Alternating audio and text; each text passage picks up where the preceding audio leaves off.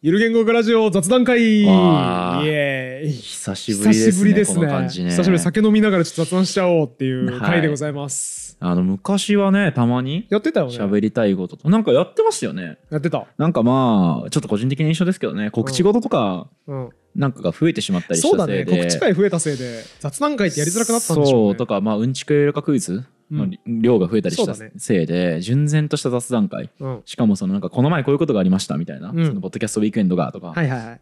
えーインプットどれが祝賀みたいなやつじゃなくて、うん。マジで喋りたいことを今日は喋ろうと。あのさっき焼肉食ってたんですけど2人で、はい。ずーっとその間も水野さんあの話をしたいんですよどうしても。今日はあの雑談会を撮りたいどうしてもってずっと言うからじゃあやりましょうということで、だからね、この気持ちち久しぶりですよ。あの、うん。えーっと、トマトジュースが飛行機の上で乗るとなぜ美味しいのか、はいはいはい。上で飲むとっていう。ありましたね。食の話した。回ねあの時も多分僕猛烈にあの話がしたいって言ったんですけど、ね。うん。それに次ぐ、あとあの、あれだ、旅館で喋った、えーうん。無知の量の話ありましたね。はいはい。あれぶり。もうってことは8か月ぶりとかそれぐらいですかね。そうですね。ああじゃあ相当相当いいんじゃないですかこれは。はいまあでも久しぶりの雑談会で。話し出す前にはまずうん。乾杯でしょうよと、酒を飲んだ方がいいですね。いうことで。行きましょう。お疲れ様です。ええよですなんか水野さん怪我してない？はい？中中指怪我してない？あそう、怪我してます。どうしたの？いや、こうです。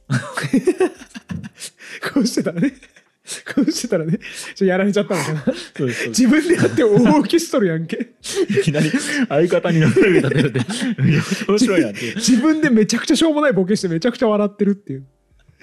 えーお分かりの通りすでに我々は結構酒を飲んでおります、ね。いやいやまあさっきのうち知ら2杯2杯かな？ジョッキ2そうですね。杯ぐらい飲んで。ジョッキ2杯なので、まあ、一般的に言えば、多分酔っ払ってる部類に含まれるのかもしれないんですが、はい我々残念なことにですね、酒を入れれば入れるほどうん理屈っぽくくなる。んで全然大丈夫ですね。今までって、あのー、シラフの時ではね、こう、頭良さそうに見えるイキリ発言みたいなのあんまりしてなかったんですが、はいはいえー今回に限り、うんそういうことをいっぱい言ってしまう可能性がありますが、差し引いてご覧いただければと思います。そうですね。いきり、このラジオは、うん一回の言語オタクによるラジオなんですが、いきりなどが多分に含まれる。はい。厳密な交渉は行ってないにもかかわらず、万物を見通したかのようなイキリが見られますが、はいご了承の上お聞きください。はいということですね。ありがとうございます気。をつけてください、本当に。はい。じゃあ僕が今回どうしてもしたかった話、それはですね、生成文法うん。は、不助詞の二次妄想と同じなのではという話ですね。全然想像つかないですね。はい。不女子の二次妄想？はいまあ、二次創作の妄想？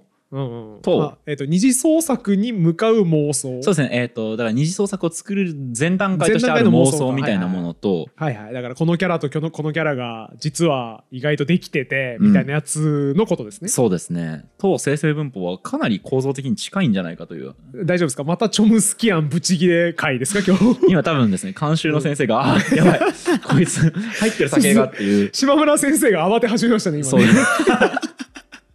グラサあの色付き眼鏡をこう上げ始めましたね 島村先生が。こいつ。そうそうそうやばいっつあの全然僕生成文法のことをけなすつもりとかってい。うのは全くなくって、はいはこれに近いことうん。をすでに言っている先生がいましへて、ー。その先生の話をしたいんですね。はいはい。えーだからこれ今回ちょっとゆる言語学ラジオということで生成文法に例えましたが、うん。まあ、その先生が実際に言ったのは、えー小林増川理論うん。ノーベル物理学賞を取りました。うーん直近の、全然知らねえよ。小林増川そうですね。2010年代とかじゃないか？小小林増マスカリオそんなんありましたっけ？小林誠先生と,、えーとはいはい。増川俊秀先生でしたっけ？うん、名古屋大学の。あ理学部あはいはいはいはい。の、えっとね、クオークが6種類っていうふうに、えっと予測した。名古屋大学の先生取ってたわそういえば。名古屋先生、はいはい。名古屋大学の先生いっぱい取ってますから。はいはいはい。青色大発光発光ダイオードの天野先生もそうだし、あなんかクオーク関連で取ってた気がしてきた言われたらそうそうそう。6種類であることを予想した人？そうです。6種類だっていうモデルを立てたへ論文を、えー、1972年ですかね、に出している。なんかあれだよねアップボトムあれアップボソンあそうそうそうみたいなやつだよねそうあの全然クオークが何か？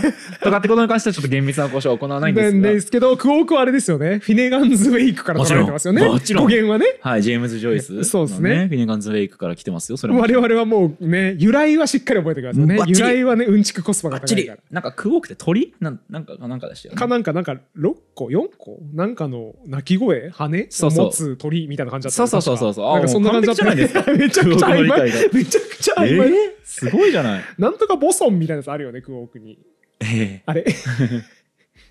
調べてみよう。あ、やべ、恥ずかしい。え？クォークとは素粒子のグループの一つであり、レプトン、ボソンとともに物質の基本的な構成要素。だから、じゃあレイヤーが間違ってました、僕は。アップとかあれ何だったの？じゃあアップなんとかみたいなのあるよ、多分。えっとね、アップ、あ、ある、あるある。クォークはアップ、ダウン、チャーム、ストレンジ、トップ、ボトムがあるんですね。なるほどなるほどだから、僕がイメージして、なんか、アップとか、ボソンとかあったよねっていうのは半分合ってて半分間違ってました。はいはいはい、はい、残念。そうですねまあ、まあ、なるほど。まあ、許容範囲でしょ。これぐらいは。これぐらいは許容範囲でしょ。もちろんゆる言語学ラジオですか？らそういうことですよ。物理の間違いなんてねね許してくれよと。はいでえっとちょっと論を進める前に、はいえっと前提としてちなみにその二次創作？不助詞の二次創作みたいなのって、なんか知ってたり？造形は深いですか、いや特に造形は深くないですけどおそらく大きく振りかぶってのあのピッチャーのことをキャッチャーの子がめちゃくちゃその大人の営みをしているはいはい。同人誌がこの世にあるんだなみたいなことは知ってます。ああだから大振りは野球の漫画ですよね。そうですね。はいはいはい。なんかねえっ、と僕がその読んだ本に出てきたのは、うん。えアンパンマンの二次創作あるそうなの？はいえアンパンマンとバイキンマンがちょめちょめするみたいなこと？そうです。えそんなんあるんだ。そう。知らないけどでもありそう。なんか何でもありっぽい感じはするよね。そうそう。ちなみにそのあのアンパンマンあのバイキンマンではなくって、うん、それをイケメンに変えてややこしいな、えーもう。服を赤えっとアンパンマンって赤色の服に黄色のマントとかですよね確か、はいはい、そんな感じだと。だからその赤色の服に例えばその黄色のスカーフみたいな、うん、そういうそのアンパンマンのアイコンさえ残していればアンパンマンとされるのはあだからもうイでケメンはアンパンマンと実質同じみたいなね。そうそうそうそうそうなるほど。っていう風になっているらしいんですけど、はいはこれさななんでさアンパンマンとバイキンマンのさうん、まあそのなんですかブロマンスというか。ブロマンスでもないかも、もうブロマンス。まあブロマンスっていうのはあれですよね、えー男性同士の、はい。なんかその友情なんだか愛情なんだかみたいな、芽生えていく複雑な感情みたいなことそうそうそう。ブラザーとロマンスの合成語ですけど、うん。うんえっとまあじゃあ何恋愛関係肉体関係みたいな風に言ってよろしいでしょうかね。なんじゃない？多分、はい。知らないけど。それをすってさどうやって思いつくと思います、どうやって思いつくとかななんでアンパンマンとバイキンマンのはいはい。肉体関係みたいな発想にたどり着くんだと思います、えっとね多分えっと聞いたことある。聞きかじった知識。知り合いの不女子から聞きかじった知識だけど、うん。関係性萌えっていう言葉があって、はい。関係性というものをすごく楽しく消費する一番楽しく消費する方法は不女子の妄想なのだみたいな話なことを聞いたことがあって、はい。僕が最初に大きく振りかぶってを出したのは大きく振りかぶってを普通に僕不女子じゃないですけど読んでる時になんかこのピッチャーとキャッチャーの関係性エッチだなってちょっと思ったへんですよね。はいはい。そのキャッチャーの方は普通に男社会野球部みたいに溶け込んでいて、まあ、気も強いうん。無表情ぶっきらぼう。はい。ピッチャーの方はビクビクしていておどおどしていていつもこのキャッチャーの様子を伺っていると。はいはいはい。でもそんなんお前やめろよみたいな。うん画を通せよみたいなこと言ってこうガシッて手を掴んだりして、はいはいはい。なんか説得するシーンみたいなのが多分最初の方から結構盛り込まれてたんですよね。うんうんうん。みたいなのを見るとなんかあすごい関係性だなこの2人みたいな。はい。なんかあるよねこれ背景にはかどる妄想がって気はしたんですよね、裏でどういうことになるかなみたいなことをちょっと想像させる余地があるなっていうのは思いましたね。うーん。あそう。でもまさにそういうことで、不女子のその推論として著者が挙げているのは、なぜそのライバルであるアンパンマンとバイキンマンは、うんこんなにお互いを意識してるんだろうと。はあでおまけにそのバイキンマンって懲りもせずにアンパンマンがパトロールしてるところにやってきて、うん。そこでいたずらをしそして毎回必ずアンパンマンにやっつけられアンパンチっつってね。そうそうそう吹き飛ばされてしばかれますよね。うん。でししばかれるってあんま言わないけどアンパンマンバイキンマンアンパンマンにしばかれるってあんま言わない。やっつけられるのね。そうですねボコられますよね。はいはいまあでボコられるともあんま言わないけど。はい。ここで、だから彼女たちはこう思うんですね。その、うんこれライバルで彼女っていうのは不女子あ、不女子はいはい。妄想するは、ライバルでありながら、これ実は恋愛関係にあるのではないかと。ほう。であ面白い。そうでなければ説明はつかないってうんいう妄想を抱くと。はあなるほど。つまり、今の話じゃない、そう、要は余余白とか、うんあるいは、えー説明がつかない出来事、その毎回毎回パトロールしてるみたいなところで、いたずらするみたいなはいはいはい。ことを説明するためには、そこでその恋愛っていうモデルを持ち出して、ええーとその作品の設定に説明をしようとする試みることなのだと。はい。ははいい。バイキンマンがいつもアンパンマンの目の届くところで悪事をするのはそうじゃないと物語が成立しないからだと思います。作者の意図だと思います。堀本さんはい。バカですか？いやでもそうでしょ。そうでしょ。でそうじゃないとさえアンパンマンはここまでしか目が届かないんだけどはるか彼方でバイキンマンが悪事をしていましたってなったらもう何も物語が始まらないからそうはならないじゃん。はいはい。作者の意図ですよこれは。えっとねアンパンマンの例は確かに突飛な例だったので、はいはい。ここでは、まあ、堀本さんのじゃあ論を一旦受け入れることにうん。しましょう、うん。でもこの後それでは説明がつかない出来事とかが出てくるので、ほう。ちょっとそれは待っていたあ分かりました。だきたい我慢しましょう。はい。ちょっと一応確認すると、はい。今小林マス理論の話をしてるんですよね小林マスカー理論ははい不女子の妄想と同じはい。っていう話に今向かってるんです。よね、はい向かってます、とてもそんな空気が今出てない。不女子について解説されてるだけな気がするんですけどいやもう今この前提は十分共有し終わりました。向かってるんですよね。ただ小林マスカー理論に行くためにもう一つちょっと挟みたいものがあるんですけど、まあ、それがその要は今アンパンマンっていう物語に対してうん。不女子の方が、うん。えっ、とまあ疑問を抱いたわけですね、うん。その世界に対してこれおかしくないか？という疑問を抱きそれを、えー説明する。しかもそれはまあ論理的ではない形で説明すると、うん。うん。これを著者は堀本さんが知ってるカタカナで呼んでいるんですけど知ってる方かなで？知ってる確実に聞いたことがある。ただまあゆる言語学ラジオの公開順的にはどうかわからないですけどへ多分え前回前々回ぐらいの収録で聞いた言葉を使っているんですね。えちょっとあのさはい。僕パッと思ったのは全然それとは違う話で、はい偉人殺しのフォークロアやんって思った。ああなるほどね。これ前の回にもやりましたよね、えーこれゆるコンピューター科学ラジオで扱ったコンピューター学ラジオで話したのか、はい。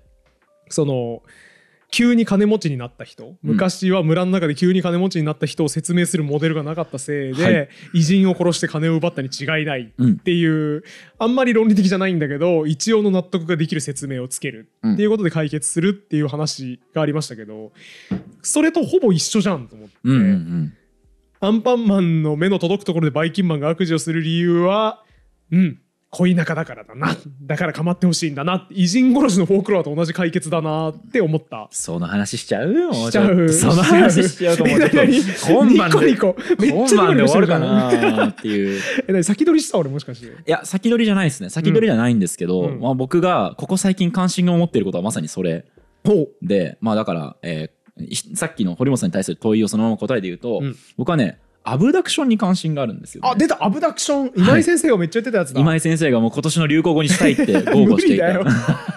それは無理ですよ。ああ今年じゃなくて来年のだなって言ったちょちょちょちょ ずっと無理ずっと無理。え？アブダクション難しすぎるもん今井先生めちゃくちゃねアブダクション流行らせたいって言ってましたけど。仮説推論みたいなことですよね。そうですね。でしかもそのうち演疫でも機能でもなくって、うん。論理的な飛躍があるんだが、うん。まあその既存の出来事に対しての説明として考える、まあ、こう何かのモデルを当てはめたりするっていうような、ん。まあ、行動のことをうん。アブダクションと呼ぶというふうに今回はしておきましょう。なんか今井先生が言ってたので言うと言語の習得で言うと、うん、どうやらこの動物を馬と呼ぶらしいなって思い切って決めちゃういなことだよね。そうですね。それはア論理的には馬って聞いた時には馬に乗ってる人なのかもしれないし白い馬なら白のことなのかもしれないんだけど多分この動物のことだろうって思い切って決めちゃうやつそうそうそうそう。がアブダクションね。そう。でこうそれで言うと偉人殺しっていう民話うん。も伝承もアブダクションアブダクションですね。既存のそういう人が急にお金持ちになったってことの説明に偉人を殺したに違いないっていう飛躍のある推論を持ってきてそれで納得する。はい、ね。アブダクションですね。アブダクションですね。そしてこのアンパンマン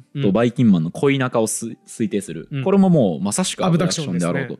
だからこの今の話っていうのは全部アブダクションの話うん。だったんそうだですね。はい、で、えっと、ここで著者は筆をまさらに走らせていましてうん。余白の解釈うん。で、だったよねこの、えーアンパンマンの話っていうのは,、ちょっと小林マスカリロンはまだ忘れといてほしいんですけど。まだかなって思ってましたけど。そうあの、うん。これは今余白をこう解釈する。まあだからそこで言う余白っていうのはバイキンマンが何を考えているかみたいなことは一切描写されないからそう。物語の中では描写されないからつまりこういうことに違いないって考えることができる余白ってそうですそうでですそうですでこれはその枯山水とかね、うん。俳句みたいなものとかでも、まあうん余白書かれてないものを味わう芸術であって、そのうちの一つがだからまあこの二次創作っていうのも、うん。こう方向性としては近いんだと言っている。そうかも。あなんかうんまあそうか。あじゃあここ納得しないなら別にねここはね納得しなくてもまあ大丈夫、まあまあわかりますわかります。そうここからね。ちょっと僕今何が思って引っかかったかっていうとなんか怒られそうだないろんな人にっていう。ああそうかそうか。枯山水マジでやってる人とか、ね、枯山水と不女子の妄想は一緒とか言うとちょっとなーってなんか庭師の人とか怒られそうだなーって思ってたそうですね。であと僕ずっと言ってるけど不女子って別称ではないですよね。あなんかその腐るっていう感じが入ってるから。どうなんだろうね。なんか不別女子って呼ぶののは失礼に当たるのかっていうのもちょっと気になったけどでも論文ではもう不女子ってずっと使われてたのでじゃあもうしょうがないってしたんですけど、まあ、ちょっと一般称として別に不女子の人を僕バカにしたいっていう、不女子は別称ではないというアブダクションで、うん、ちょっと飛び危込みましょうもないですけどねちょっと飛び込みましょうそこはあの漱石のさ、うん。心って読んだことあります？あるけど次々飛ぶやん話が。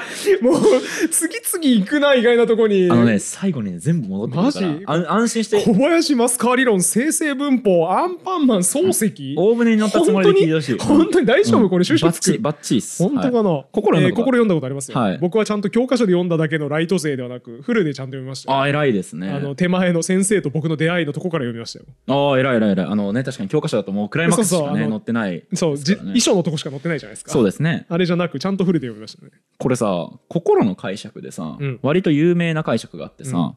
本当は先生は K のことが好きだった。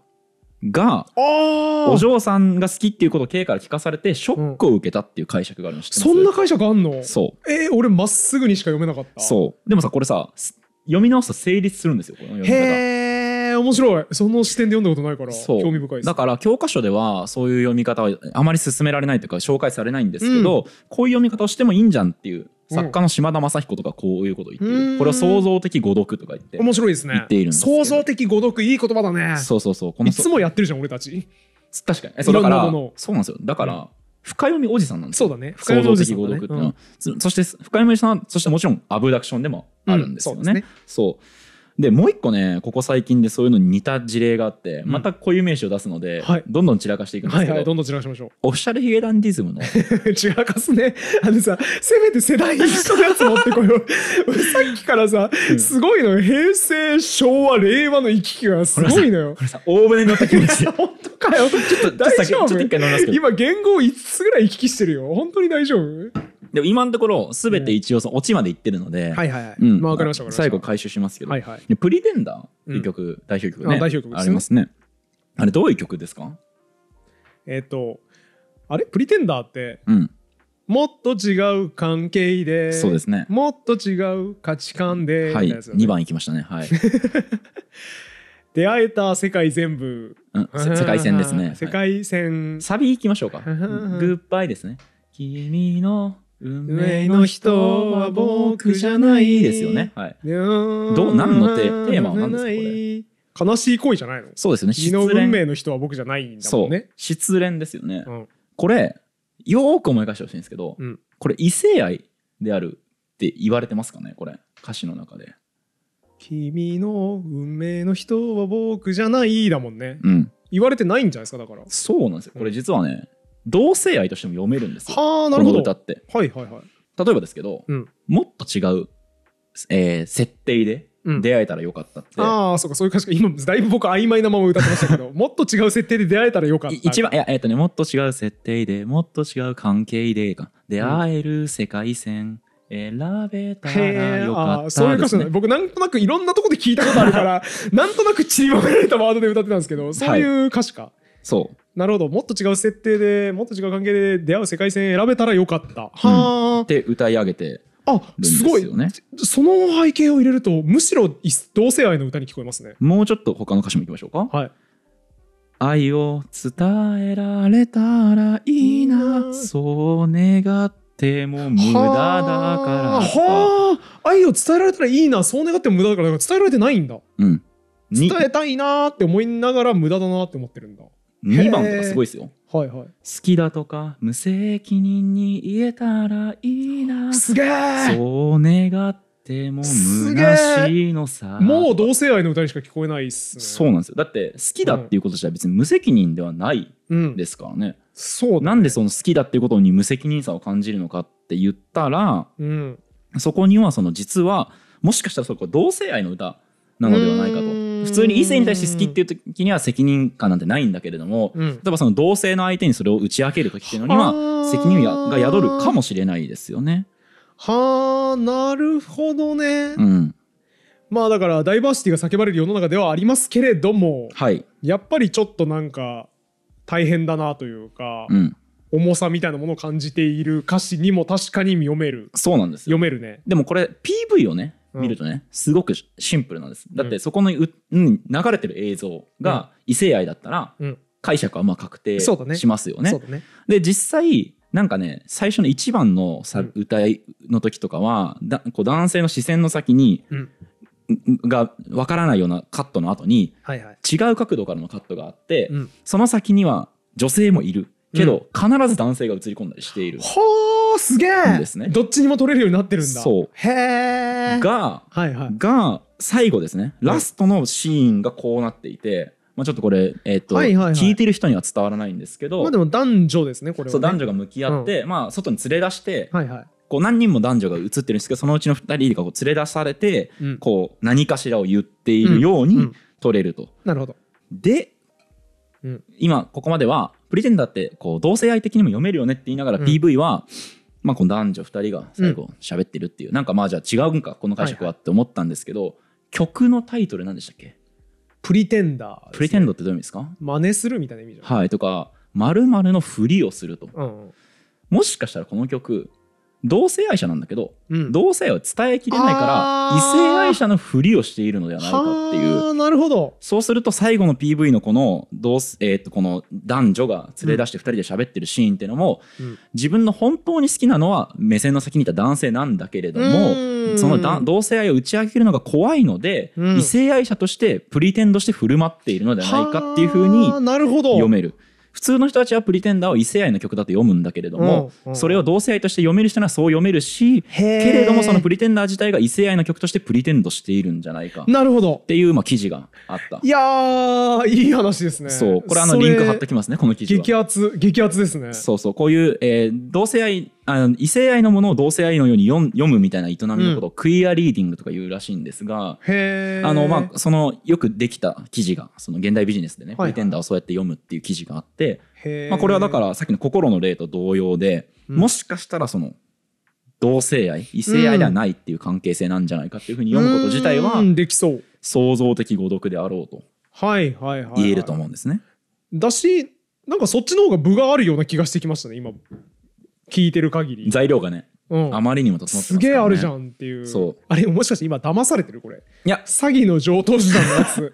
なんかすごいいい材料を畳みかけてきて。はいはい。あもうそうとしか思えないっていうあの陰謀論とかでよくでもあるやつ。プリテンダーの歌詞本当にすごいですよ。例えばうん。誰んえっとね誰かが偉そうに語る恋愛の論理、何一つとしてピンとこなくて。あー飛行すげえ機の窓から見下ろした知らない街の夜景みたいだとか。はあ。それはピンとこないよね。異性愛者の話なんだからみんながするおそらく。なるほど。あ確かに。うん。すごい材料整ってますね、そうなんですよ。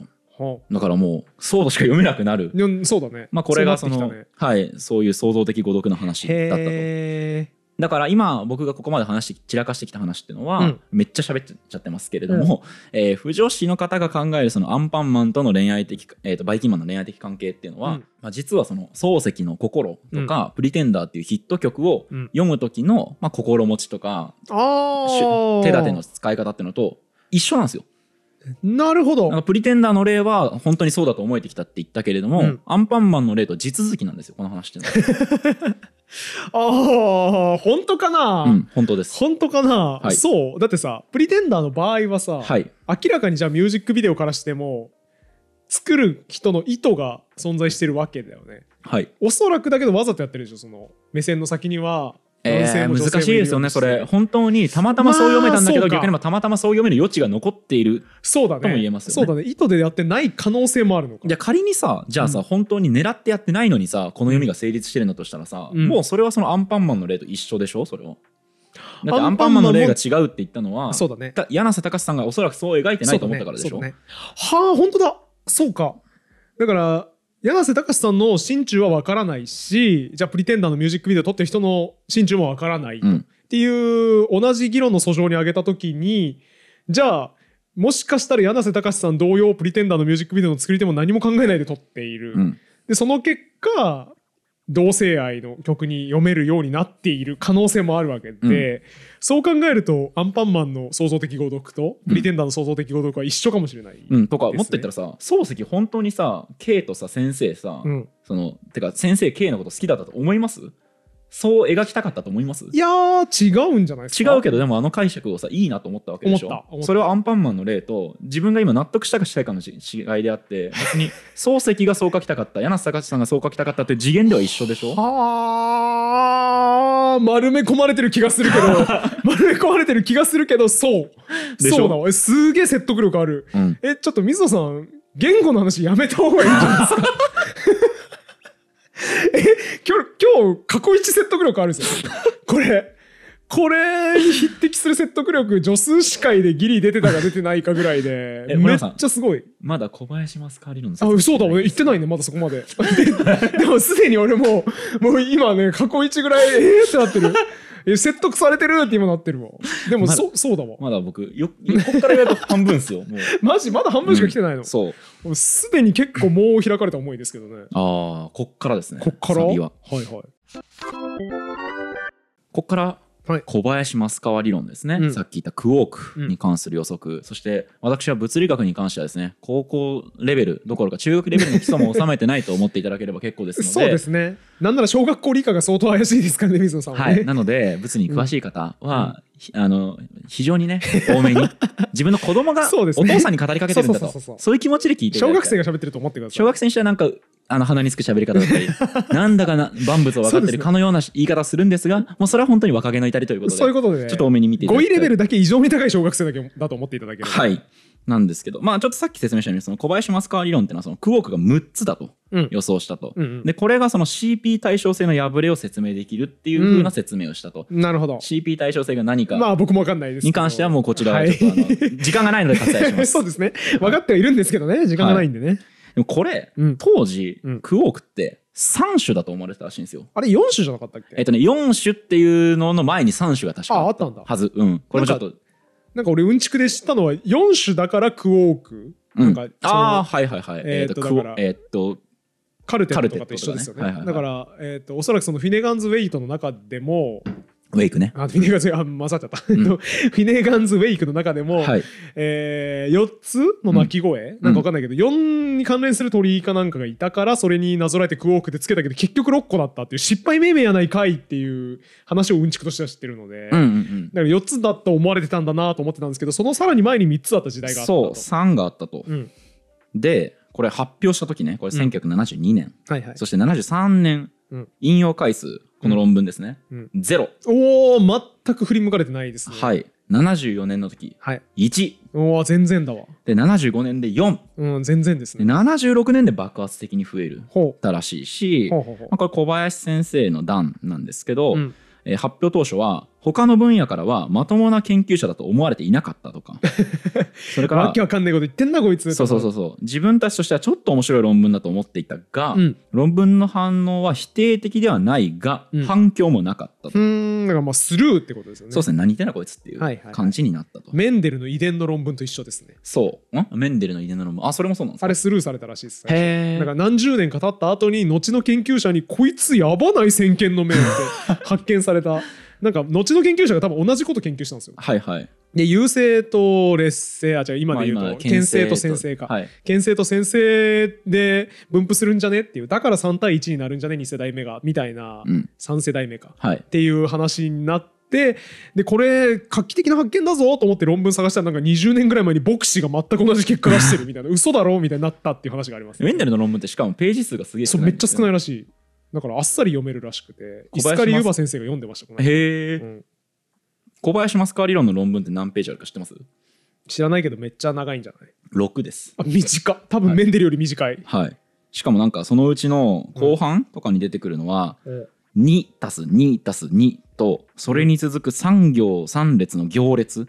これが小林増川理論のもう要定に当たる。うんらしい、全然わからんけどね。でもなんかものすごくシンプルな数式、うん。2たす2たす2っていう、まあ、つまり6個あるからさクオークが、うん。2たす2たす2ですよね。うん。であとなんかその3とかけさんの行列うん。みたいなものがその彼らのクォークが6つあるっていう予測のもう大きな趣旨だったらしいんですね。だからもうものすごい短い論文だったっていう意味でもメンデルと多分似ている。へえあすごい一緒ですね。そう。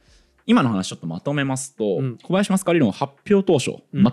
全く評価されなかったというか、あの批判されるわけでもなくうん。もうもはやスルー。スルーだったと。はいはい。でちょ、えー、とここを、えー僕がさっきから喋ってる話の元ネタの著者は不女子の二次創作とよく似ているっていうんですよ。なんで？発表した当初スルーされるからってこと？そうな何がって思うじゃないですか。うん。でも不女子の二次創作も、うん。誰か一人がじゃあそのバイキンマンとアンパンマンっていうのは恋愛関係があるんだっていうふうに言った時に、これを共有する人が徐々に増えていくっていうことあーなるほど。ともともとそんな現実は存在しなかったんですよその時代には。なるほどその時代には存在しないものの理論をアブダクションで立て、うん。でそれに対してあそうかもっていう人が徐々に増えていってはあ残っていくっていう点では非常に似ているんだと。はあなるほど。そなるほどそうか。だから不女子のカップリングみたいなことですよね、うん。あそのこのキャラそう。そうそうとこのキャラが実は恋愛関係にあるんじゃないかみたいなやつも多分最初に言い出した時はそんなに別に跳ねない、ううん。けどだんだんこれいいなってなってきてみんなが真似し始めたら大ムーブメントになる。そう。はあ、つまりその小林マスカー理論っていうのは突飛な説明だったんですよ、うんうん。でもその突飛な説明っていうのはうん不女子がアンパンマンとバイキンマンの関係を予測するのと一緒なんです。その時にアンパンマンとバイキンマンが恋愛関係あるんだって言った時堀本さんはうん。何言ってんだっていうそ反応したと思うんですけど てだから突飛な説明だった感じだ。それは小林マスカー理論が発表された当時の反応と一緒だったんです。はあでもそれに徐々に説得力があれば他の人とそれが共有されていくわけですね、うんそうだね。実際小林マスカー理論は74年に4番目のクオークが発見されて、この時点で急に信憑性を増したと、うん。これは例えて言うならアンパンマンの最新作を見たら、はい。あやっぱりなんか恋愛を匂わせるあーなるほど。ことをやってるじゃんっていう風にして説得力を増すのと工程は一緒なんですよ。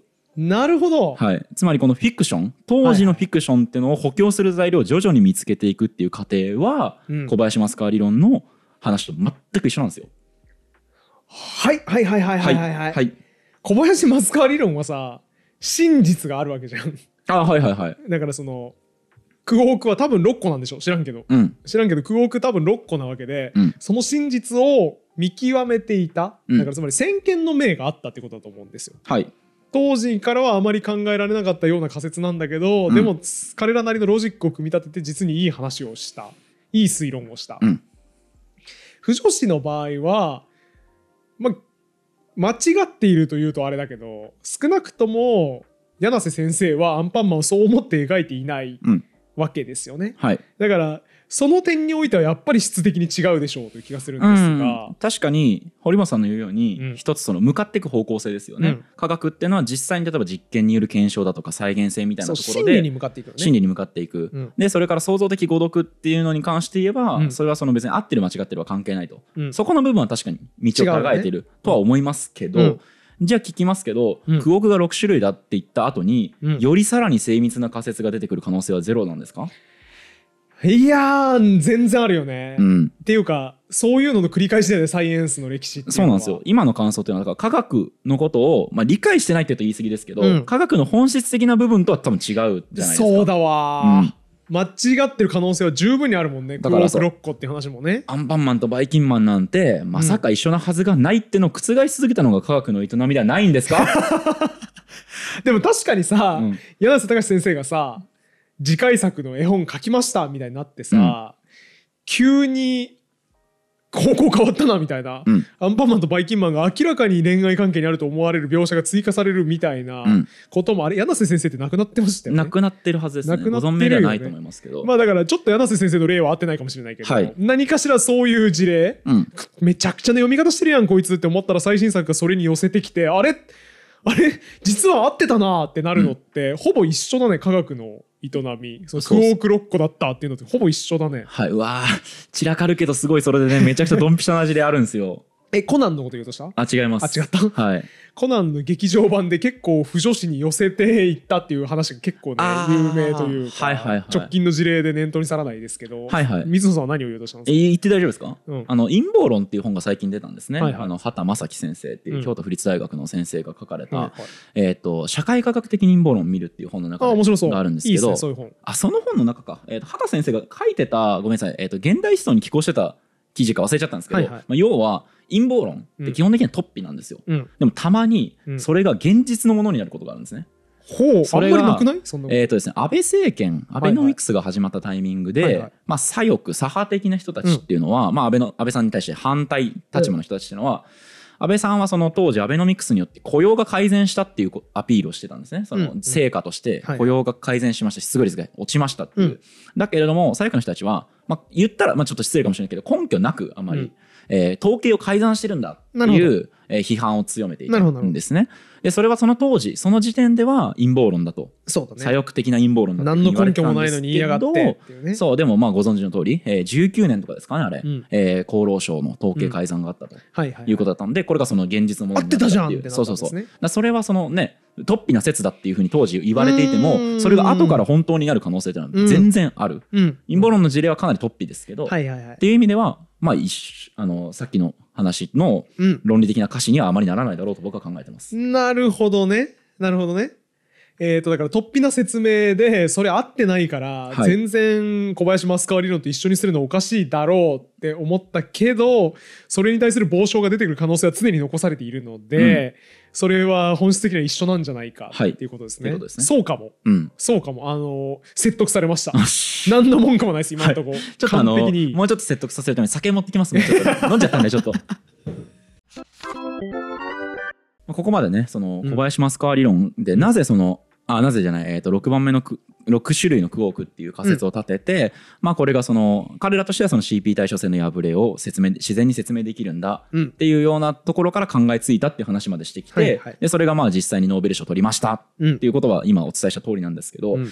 ここで面白いのがねそもそもうん。彼らなぜそんな当時3種って言われてた4種とも言われてなかった時代に、うん。クオークは6種あるなんていう、うん。突飛な説明を思いついたんだと思いますか？だからその方が CP 対称性の破れはい。が説明できるからでしょ、うんうん。あまあそうなんですけど、うん。でもその3しかない時代にうん。6いくのよ、確かに勇気あるよね。そうそうそう。あー。いやわかんない。僕門外漢なんでいや別に3も6もそんなに変わらないやろっていう気はする。まあまあまあ確かにね。うん。小林さん面白いこと言っていて、うん。名古屋にはクオークが4種類あったっていう。いやそんなことないだろ。そんなことない。これ比喩なんですけど、うん。小林さんと増川さんが所属してた名古屋大学の坂田研究室周辺のコミュニティでは、うんまあ、ある日本人の学者が、えー見つけた新現象が、うん。その4番目のクオークの傍証だと考えられていて、あのいたんですけどこれその一例しかないデータだったから、いはい。世界的には無視されてた。なるほど。が名古屋大学のその研究室だけではそれをすごく問題意識を持っていたんだと。ありますよね。身内でだけなんかこれすごい信じられてるみたいなね。う。ん。事例あるよね。そう。だからその名古屋大学の空気はクオークは4種類うん。あったそして世界的にはそうではなかった。ゆる言語学ラジオリスナーがうん。当たり前みたいに「いや今俺メメタモン発動してるわ」って言って友達に「えどういうこと?」ってなる、あの感じですよあねの感じです。身内でだけもうメタモンみたいな言葉が成立してるみたいなね。そうそうそう、まあ、まさに小林さんは当時の情報としては、まあ、今より隔離されていたと、うん。でも隔離されているメリットもあって、うん。独自の考えが育つ時間があった気がするっていうふうにインタビューで答はあいいですね。えていたらしい、エコーチェンバーどんとこいみたいなね。そうで結局そのまあ彼らは、えー、とクオークが4種だっていう前提で、えー、と考えても、うん。この CP 対称性の破りが説明できないという論文を書こうとしていたと、うんうん。でもそれはなんかかっこいい論文じゃねえなと。うん。要はその4種だと仮定したらこれが説明できないよねっていう論文だから、まあもう一歩先にうん生きてえなってなった時に4種を捨てたら6種で説明つくって。なるほど。って思いついたらしいんですね。はあだから世界的にはまず3種だったものがそう。名古屋大学でだけ4種で。そうだから3種の人からすると6は絶対思いつかないんだけど、うんうん。4種が当たり前の場所のところにいるはとあでも4種で説明つかねえなってなって一歩先行って6になったらしいんです、ね、なるほど。あいい話。いい話でしょ。面白いっすね。めちゃくちゃ面白いでしょ。へえ一般的にはさあんまり良くないこととされてるじゃんそのエコーチェンバーみたいな、うん。世界から隔離されてこの人たちだけの価値観みたいな。エコチェンバーね、はい、こ閉じられたコミュニティの中で情報が増幅することですね。そうですね。それすごく良くないこととされてるけどそこでしか生まれない強烈なカルチャーと強烈な仮説ってやっぱあるんだなっていうのを今すごく思いましたね、うんうん。だし多分前にもどっかで喋ったけどスタートアップはカルトだから、うん。うん、シェアオフィスに入ってはいけないっていう文章を読んだことがあって。これめちゃめちゃいい話だなと思ってはいはいはい。だからまともに周りの人とコミュニケーションを取ってる環境だと異常な強度のある文化は生まれないとうんお前らしかいない家に住めと、うんお前らしかいない家の1階をオフィスにし2階を居住空間にせよとそれ以外の人間とのコミュニケーションなどいらんっていう文章を読んでむちゃくちゃ言うじゃんって思ったんだけど、うんでも実際に Facebook とかで多分それで成功してきてるわけで、はいはい。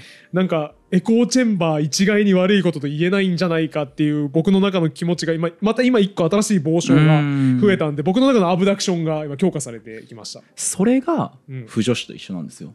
ほう、不女子もうん、コミュニティが細分化されていて、ジャンルやキャラクター同士の組み合わせによってちっちゃくコミュニティが分かれていって閉じてるんですよそれが。でだからこそその空間の中でだけ信じられるフィクションがあってそこで活発なコミュニケーションが誘発されているんじゃないかっていう。そうだ。誰々かける誰々のカップリングを信奉する人たちみたいな、うん。でそこで気が合わないから別のカップリングのやつと絶対つるまないみたいな話聞いたことあるわ。そうだからそれじゃん。そこも今小林マスカリオの名古屋大学坂田研究室と不女子のコミュニティっていうのは一致してるんですよ。閉じたコミュニティの中でだけ生まれるアブダクションだったんですよ。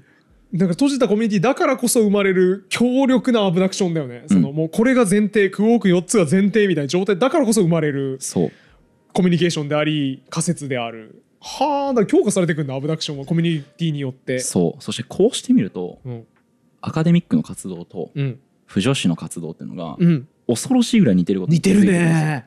まだ傍証があるんですよいやこれだけじゃない。まだあんの？まだあるんですよ。もう十分よ俺。不女子説得されたよ今、うん。不女子の方がうん。そういう二次創作を考えるときにまずすることってのは、はい、まあそのどの作品うん。を見て、うん。でそれからどんな、まあ、テーマで考えるかっていうことをまあ、大きく振りかぶってなのかそうそうそうそう僕のヒーローアカデミアなのかみたいそうな、二次創作するってなったらそれはねまずうん。作品を決めてってなるんですけど、でも研究者もやっぱ研究テーマを決めて、うん。その後って不女子がその作品を見るように、うん。既存の論文をまずザーッと取り寄せて読みますよね,、ね研究者は。そうだね。でそれからイベントも似ていると。ほう。不女子も年に数回のイベントみたいなのでうん。作品をこう発表するんだが、うん。研究者は学会で研究成果を発表すると。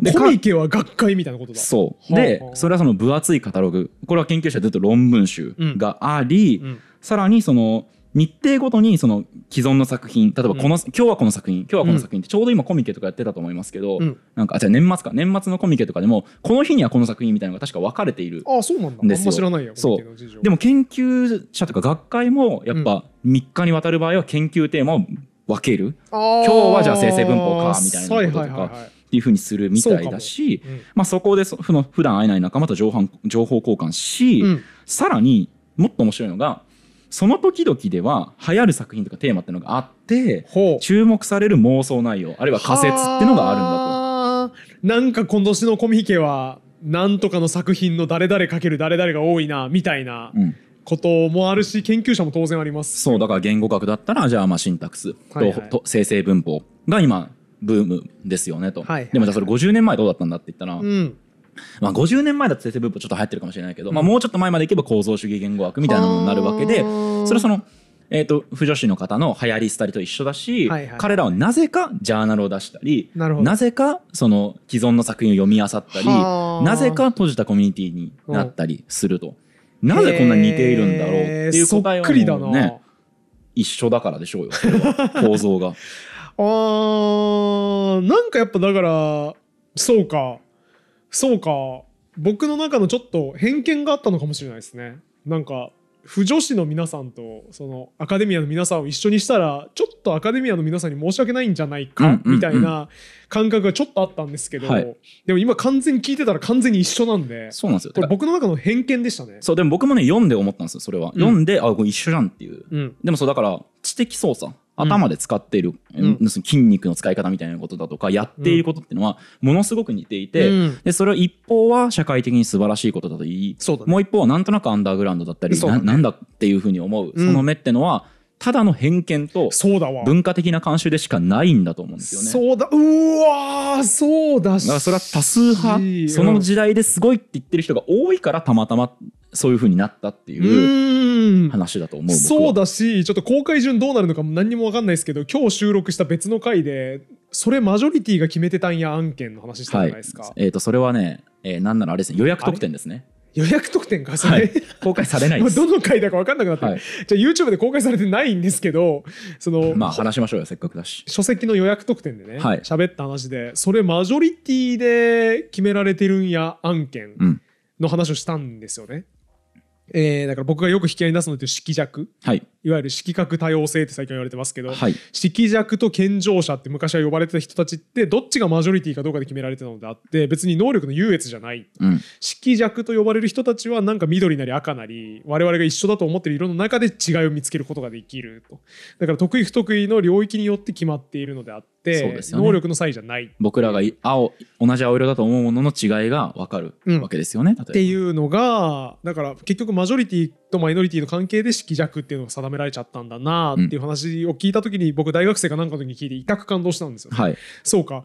それ優劣だと我々は勘違いしがちだけどマジョリティによって決められてたんだなっていう。構造は一緒ですからね。はい。っていうのと一緒じゃん不女子の話オーバーラップします。もし仮に不女子がめちゃくちゃなんかわかんないけどみんなすごいなって認めてる世界線だとしたらで学者の皆さんがなんかしょうもないことやってんなっていう生産性のないことやってんなって思われる世界だとしたら完全に僕の感覚逆になっていた。そう不女子は偉くて学者は暇人みたいな風に思っていたかもしれないわけかもしれですよねないですね。それたまたま今我々が生まれ落ちた社会ではどちらかが優でどちらかが劣っていうふうに決めているだけなんじゃないですか？それはね興奮します。興奮します。大丈夫ですか？いやいや僕だけどさその予約特典の中でも言ったけどさ、うん。やっぱマジョリティが決めてたんやそれっていう驚きって、うん。すごい最近の僕の中の驚きテーマなんですよ。うんうんうん。それそれもってなってるんですけど、はい。これもじゃん。そうです。全部のものそうじゃん。そうですよ。すげえ不女子もそうだったのか。不女子すげえなって俺思いました。感動しました今。めちゃくちゃすごいことしてるってうん。思いましたうねんもう開かれた思いですわ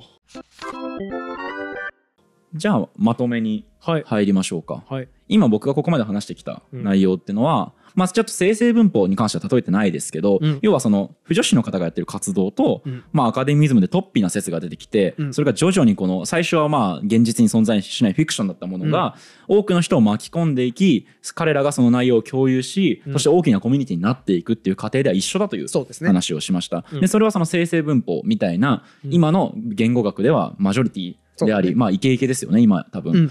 なものっていうのも同じである。うん。構造的には一緒。つまり最先端のサイエンスというのは全て、えー、不女子の二次創作の最先端的な熱気とか、ええー構造を帯びているんじゃないかっていうのが僕の考えというか指摘ですね。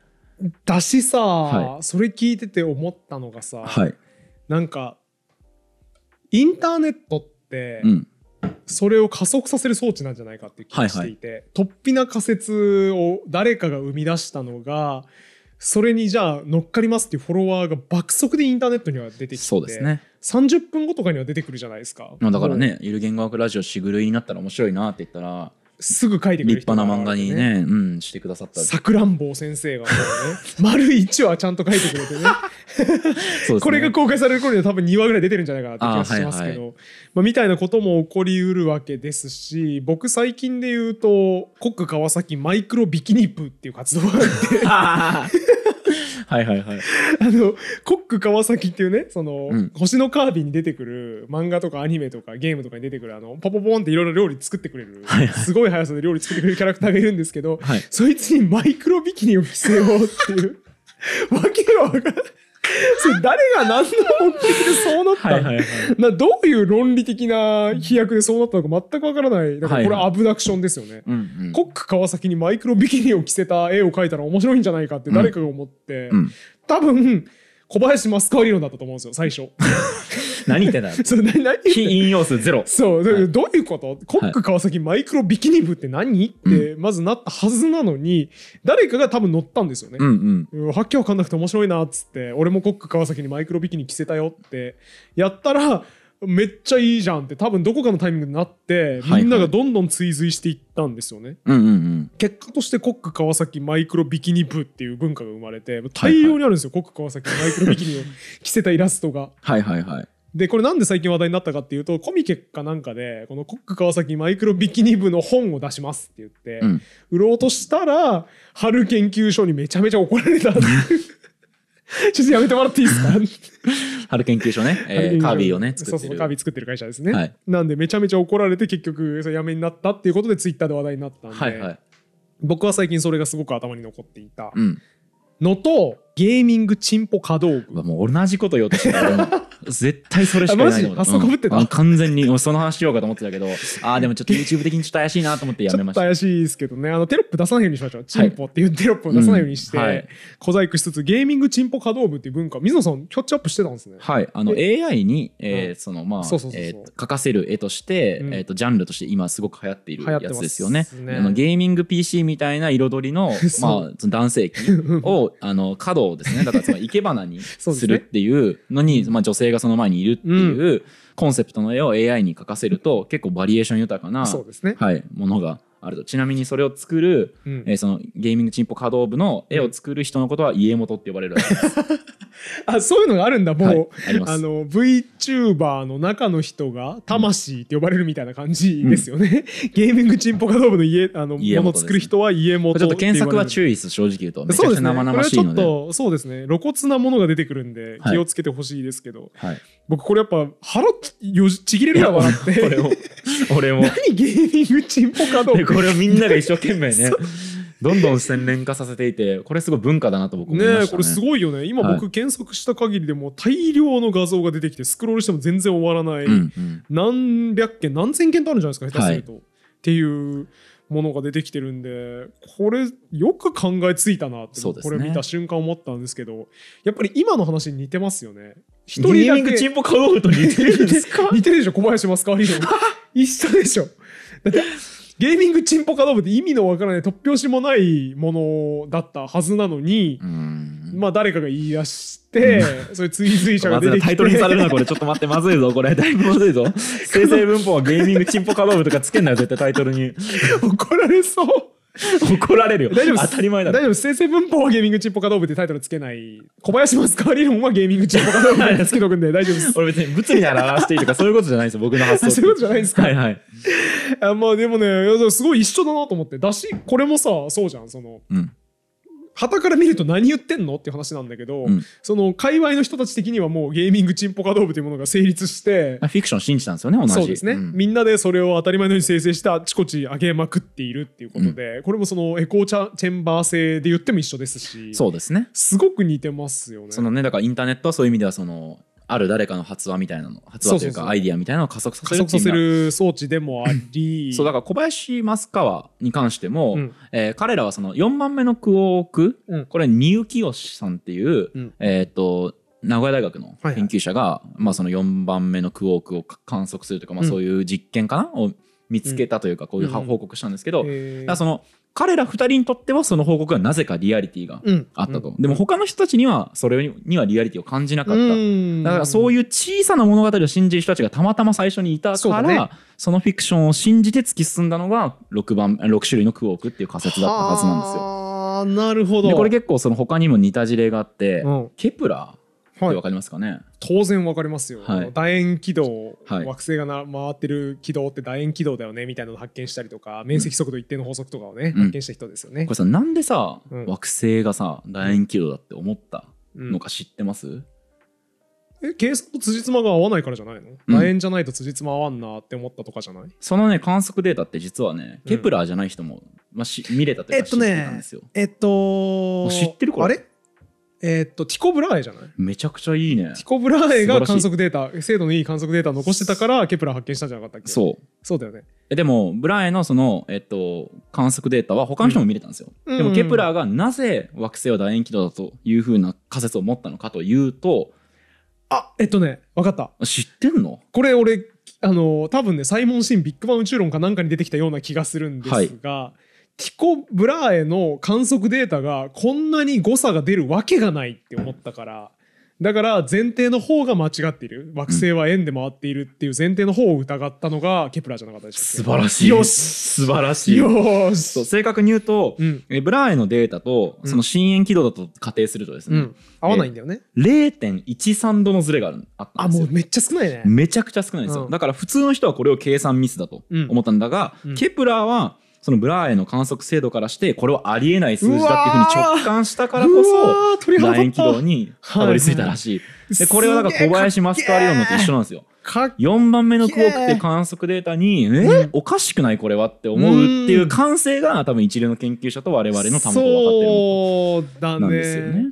だし狂信的だよねそれはある種、うん、0.1度のズレって誤差だと考えた方が自然じゃない？割と。そうそう。でもそんなわけないっていう。だってこれでケプラー、うん。これ検算してるんですよ。うん。ブラーエのこの観測データのズレ、はいはい。この検算に3年かかってるんですよ。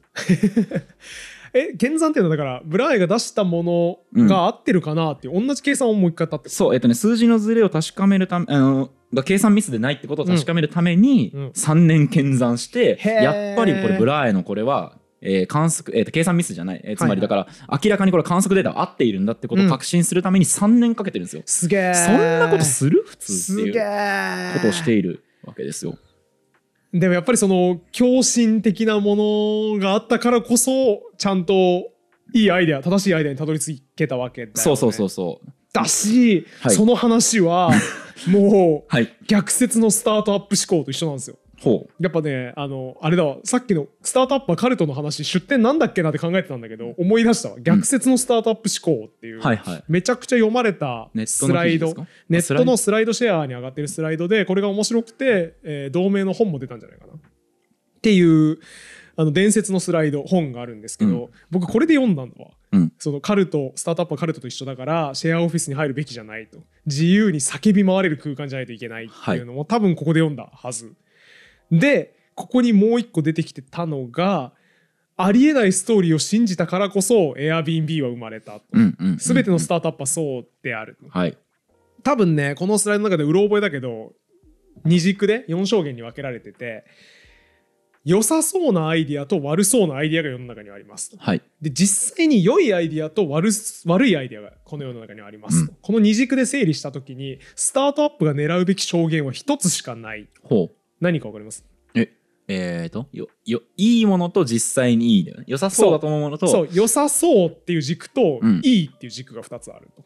えー悪そうだけど実際はいいじゃない天才です。そう、それだけを狙うべきである。はいなぜなら良さそうに見えて実際にいいアイディアは大企業が全て形にしているからはいはいであると。うんで言うまでもないが悪そうに見えて実際に悪いアイディアは失敗する。うんうん悪そうに見えるのに実際にはいいアイディアしかスタートアップが狙える場所はないっていうのが、うんうんうんこの本でありスライドの主張なんです。はいでその実例は何かといえば Airbnb うんうん。ですよね。インドのインド初アメリカじゃないあエアビーはインア多分メリカか、ね水野さんオヨと混ざってるけど。あごめんオヨだ。オヨそうだ。がインドごめんなさい。アメリカですね。エアビーは。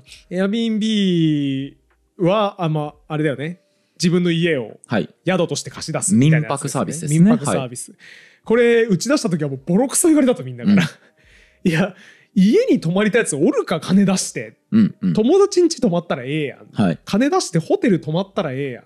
なんでその全く見知らぬ他人の家に金出して泊まろうとするんだってボロクソ言われてはい。誰からも何も見向きされなかったと。うん。でも創業者たちだけはその可能性を信じていた。やれるに違いないと思って Airbnb の創業物語って熱いんですよね。うんうん。あの需要がないって言われたから仕方なく需要が爆発的に生まれるフェスイベントの周りから始めたんだよね。はいはい。っていうところで需要を証明していって実際に需要があったことを掘り出したと。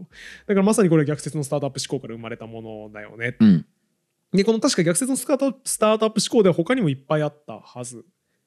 靴の EC サイト。えっと靴か。なんだっけ？だろうえっと靴特化ってこと？苦手だな。ザあれ？ザパラスみたいな会社あ知らない知らない。わかんねえや。ザポスか。はいはい。ザポスとかは多分その部類。うんうん。靴通販で買うやつおらんやろみたいな。サイズわかんねえのにサイズわかんないからっていう。でも靴特化で始めた会社とかも、まあ、同じような熱い創業感があった。なんかねこのザッポスとかはあれらしいですよ。靴をあのシステムで発送するものを組むお金がないから、うん。発注されたらそれを一個一個見て普通に発送してたらしい システムを組めないから。大変ですね。一個一個ちゃんとメス手手作業で送ってたし、なんだったら靴も小売店に買いに行ってたらしいですよ。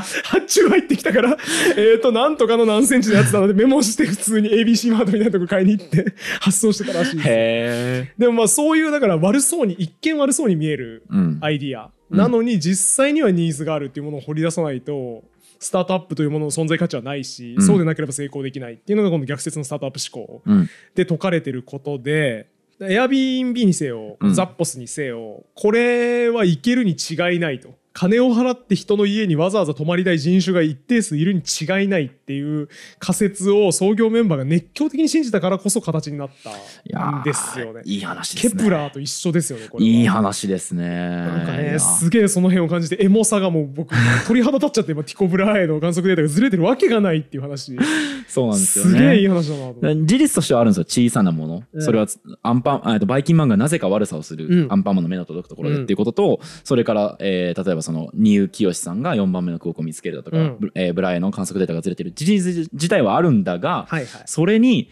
なぜか熱狂するうん。異常な熱量のある誰か一人が声を上げて、そうだね。そのフィクションを共有しなければ、うん。学問にせよ二次創作にせよスタートアップにしても発展しなかったっていいうやことなんですよね。すべての始まりは共振ですよだから。そう共振であり僕はまあこうまとめたいですけどねアブダクションであるっていうことをまとめたいですけどね。ねアブダクション、とあそのアブダクションを信じる人に囲まれることうん、が、まあ、歴史を動かしたのではないかっていうのが僕の結論です、ね。そうだね。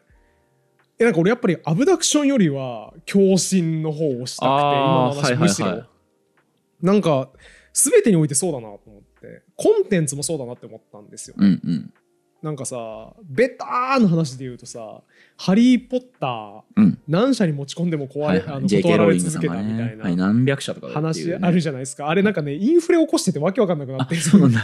あれ実際はそんなことないのに、じ実際は多分ね100社ぐらい86社とかあでも結構だね。じゃないかな。実際でもねまあ相当相当あるんだけど、はい。なんかビジネス書とかの著者がうろ覚えであの水増しするせいで、何千社とか言っちゃうってこと？500社とか800社とか なんかちゃんと裏取れよ。俺結構ビジネス書の時いろんな数字出てくるなと思って引っかかってたんですけど、まあ、いずれにせよだからこれもコンテンツの力を信じることができるかできないかだけだったなという気がしていて、はいはい。だからなんかむしろ強心な気がするな。なるほど。アブダクションが偉いっていうよりはむしろそれを最後まで信じた人たちが偉いなうーん。気がしましたね。なるほど。確かに。僕の結論の持ってき方的にもそうだったかもしれない。そのうん。アブダクション自体はありふれているんだけど、うん。それに対して誰かが強く信じるっていうそう。そういう動作とあとそれをコミュニティの中で増幅させるっていうことですよね。そうだね。その2つがうん。まあ堀本さんの中ではてかまあ僕も聞いてもうめましたけど。ちゃくちゃ響いてしまいましたうね、ん。感動しましたわ。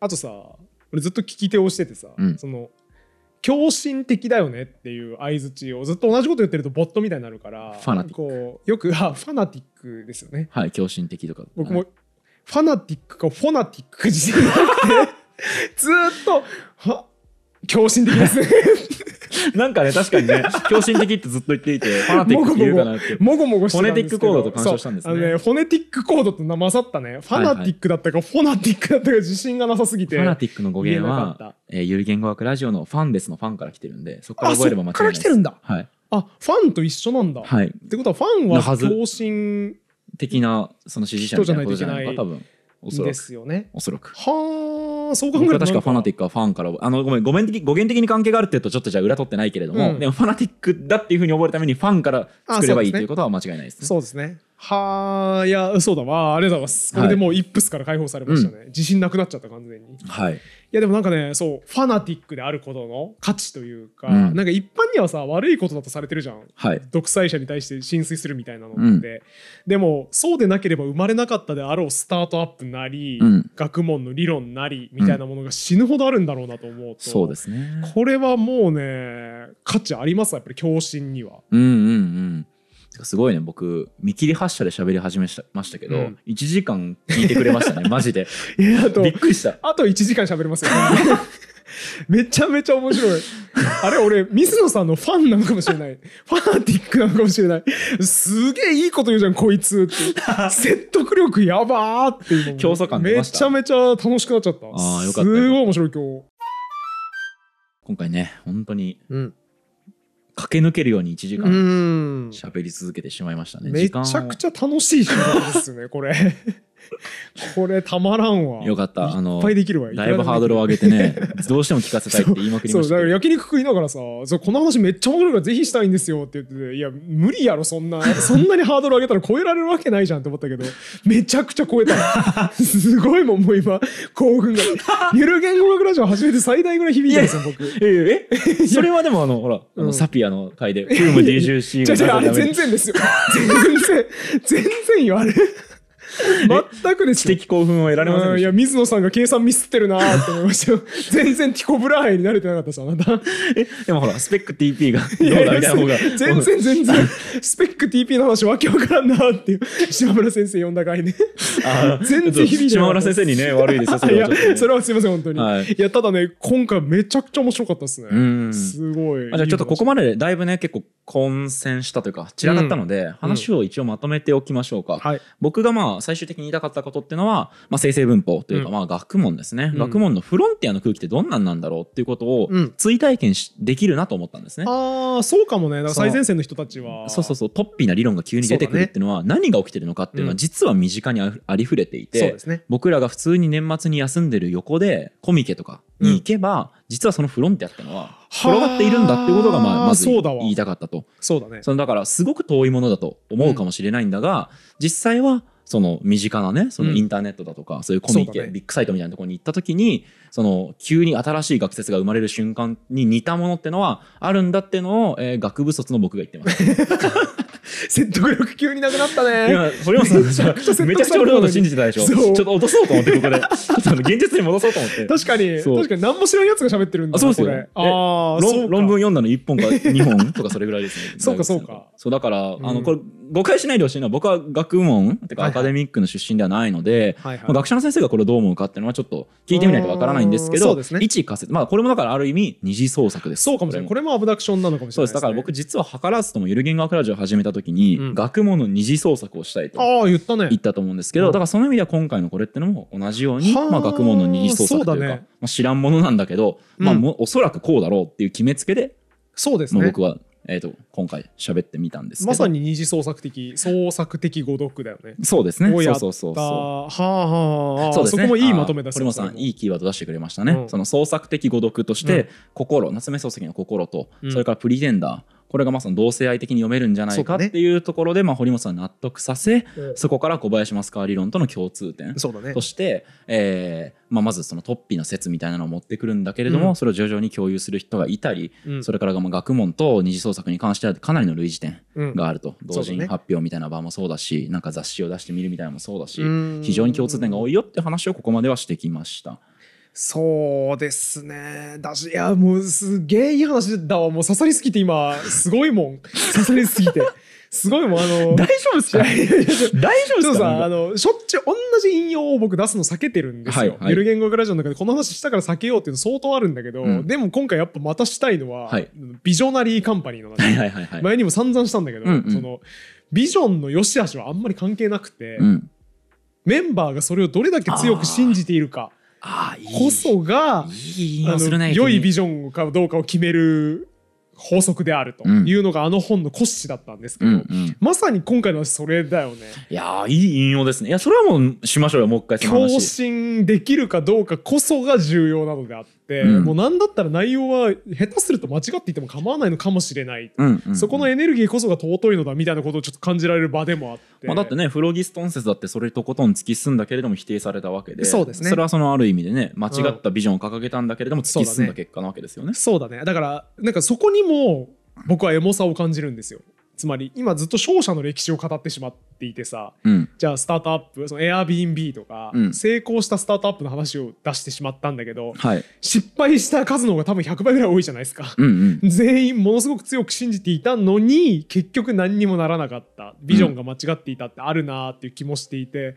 なんかねでもそれでも人々は共振をやめられなくて共振の上にこそ成り立つ成功がやっぱあって、うん。それが取り沙汰されるから我々は共振をやめられないんだろうなみたいなところにもうん。想像がいって、はいはいはい。なんか全てにおいてすごいグッときてます今。いやそうなんですよ。だから僕は実はちょっと今回オチとして考えてるのは、やっぱり共振ファナティックに信じることよりも、僕はやっぱアブダクションうん。仮説その突飛な仮説を立てることに僕は割と力点を置きたくって、はいはいはい。まあそのえーっと僕が過去に喋った偉人殺しのフォークルはうん。堀本さんがキーワード出してくれましたけど、うん。そういう、えー急にコミュニティの中でお金を持った人が、うん。まあそのそいつ多分なんかコミュニティの外の金持ち殺したんだよ。ってい。う噂が立つことっていうのはアブダクションだっていう話うん。したと思いますし、まあ、あと陰謀論もね、うん。あのそういう意味では近いんだみたいなことをそうで言いましたよね。うん。でそれからまあ学問も不女子もこれらも全てまあそのアブダクシアブダクションがなす技なんだと、まあそれを仮に信じるか信じないかは別として、うん。僕らもやっぱそのじゃああの僕らの文脈に戻すのは深闇おじさんっていう、はいはい。これって合ってるか間違ってるかどうでもいいっていう話を多分過去にしたと思うんですよ。うんだからその意味では皆さんに信じてもらうかどうかはどうでもよくて単純にその説を発表したいっていう強い気持ちに支えられてあのコーナーやりましたよね。そうですね。でこれ面白いこと言っている人がいてうん「大奥」っていう漫画ねうん吉永文さんの。はいはいはい。はいありますよね。と将軍が女性だった世界はいの話ですよね。そうイケメンの男性がいっぱいいる大奥がある話だよね。はい、もうなんか匂いませんか？え？どういうこと？吉永先生は、うん。あの二次創作の作者でもあり読者でもあるんですよ。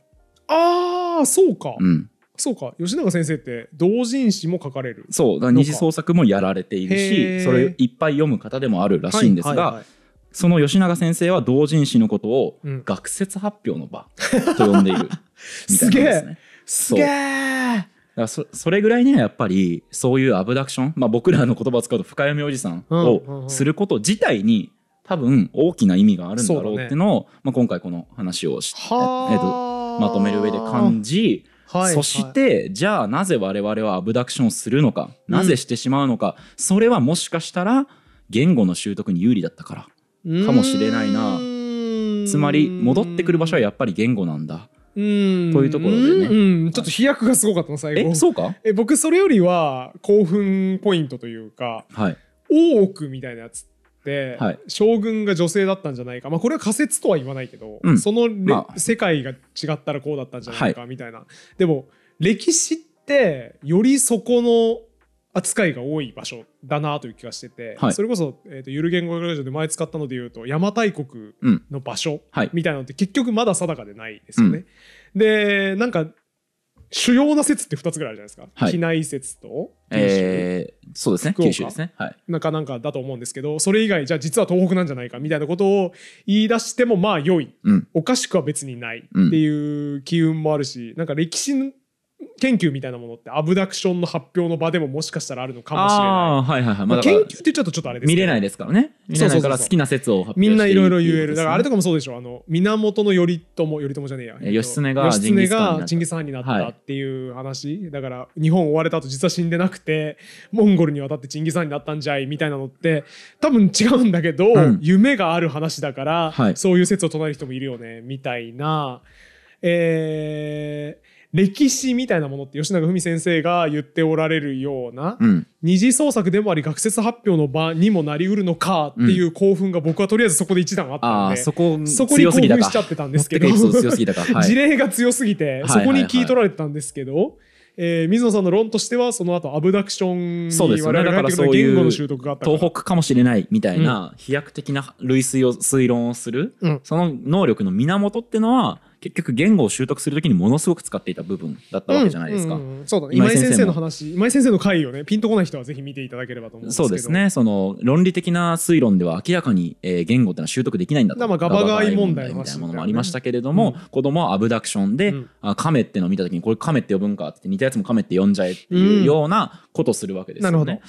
でそういう我々が言語を多分習得する時に真っ先に使った能力を使って僕らは二次創作だったり、は先進的な学説を考えたりだとかはたまたあるいは陰謀論で世の中の人を魅了してしまったりだとかまあ突拍子もない民話みたいなのが生まれてくるしプリテンダーの歌詞の解釈で一喜一憂できるわけですよね。だからもう三つ子の魂100までというかね、うん、じゃあ不女子の方がいろいろな二次創作考えましたとか、とんでもない邪馬台国の場所の説持ってきましたとかも全部あ言語習得と同じことをやっているんだなと。お前アブダクション能力維持してて偉いやんけみたいな気持ちになれる、そうそうそういう話ですねこれ。だから結局やっぱり今までの話っていうのも積もり積もるところやっぱり言語には結びついていくんだろうなっていうのがまあ、今回の僕の学説発表のまとめになります。吉永文先生の感覚でね、はい二次創作のことを学説発表とそうですね。捉えているわけですね。はい。いやー激烈にいい話 激烈にいい話あ、よかったです。やるやん やるじゃん水野さんさすがだわ選球眼がすごいさすがだわめちゃくちゃ褒め。さすがだわ。めちゃくちゃ褒めてるよこの人。いやもう僕刺さりすぎてやばいもん。やばいもんなんかファナティックうん。ですわ、今完全 に。なんか俺に？そう水野さんに？こいつやばーっていういいの持ってくるわーっていう。なんかそれだけやっぱね雑談会でどうしても喋りたいっていうだけの価値がある話というか気づきがあって大興あ奮ですね。前回もねあの食べ物の話した時はねちゃんとそこそこ跳ねましたけど、うん。今まさすがに本当に話したいなって思ったことはさすがにずれないというか。そうだね。これめちゃめちゃ面白い、めちゃそれだってそれこそじゃあさ深読ミュージシャンでおに関してこの枠組みを使って考えてみようかなってなったらもう1時間コースとかになるわけじゃないですか。なる。なる。うん、あれふざけてやってたけどさ全然そんなことないなと、そうだね。それはねあの創造的誤読そうですね。であって、もしかしたらクリエイティブなことなんじゃないかみたいな話にもできるしあと僕もう一個思ったのは、はい。その信じ抜くことの尊さみたいなうんうん。話があるなという気がしてて、はい、僕すごく打算的な人間なんですよ、うん。だから常時リスクヘッジをしてるんですよね、うん。だからまあこの仮説でうまくいくと思うんだけど、まあ、失敗する確率がおよそ2割なのでうまくいかなかった時にはこうしようっていうはい。ワーストシナリオを常に考えているんですけど、うん。それケプラーの真逆じゃん。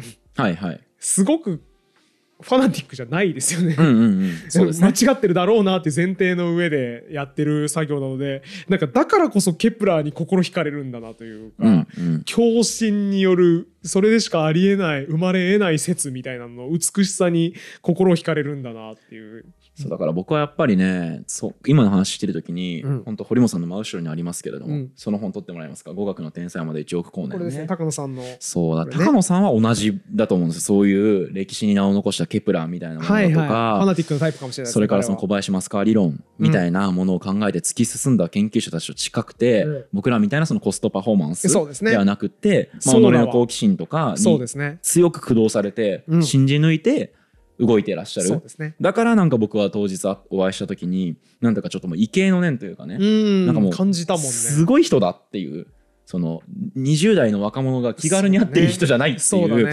何かそういうそのなんか恐れ多いものを感じたんですけどそれがなんかこう言語化されたというか今。っそうだね。ていう感じがしますね。高野さんおっしゃってたもんね。なんかいや大学の勉強とか全然そんなピンとこなくてそれより厳重無弁べを探しに行く方が面白くないですか？って言って厳重無弁べをそんなに信じられるのか？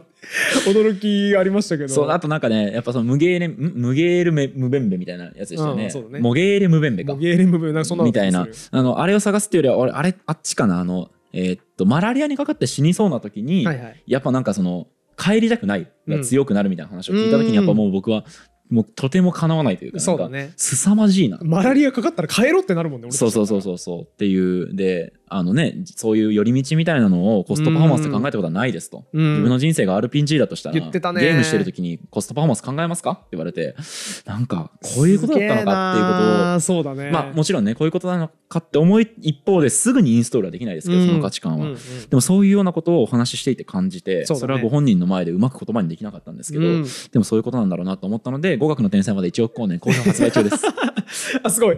もうね義務としての動画は終わったのに、はい。まだ宣伝はねちゃんとしていい本なのでね。いい本だから宣ね伝しないとね。無限に宣伝していきたいですね、いっぱい。ねあとねジーニアス英和辞典とかもそう。あの販売発売中です。文脈。これもねあれでしょ。多分多分ワナティックの人が作ってるでしょ。多分。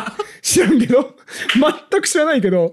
多分もうめちゃめちゃ英単語の用例とか集めてる人がもはい。う作ってるんですよね、多分ね。さ文ジ脈ないとーニアスジーニアス英和辞典第6版好評発売中です。堀本さんでも今スポンサーついてないから、ん。あのカットした言えない話とかしても大丈夫ですよ。そういえば。ああそしても大丈夫なんですか？そうですよ。そっ GS で。か確かに。読んだ時に。これ関係ねえわ。案件動画じゃねえわ。言っちゃって言っちゃって。もう。ジーニアス英和辞典のおすすめポイントですけど、あの A のところを読んでたらアスホールみたいな ASS ゾーンがものすごい充実してて肛門周りの言葉がねいっぱい載ってたんでね僕はそこが一番面白かったですね。15分ぐらいね。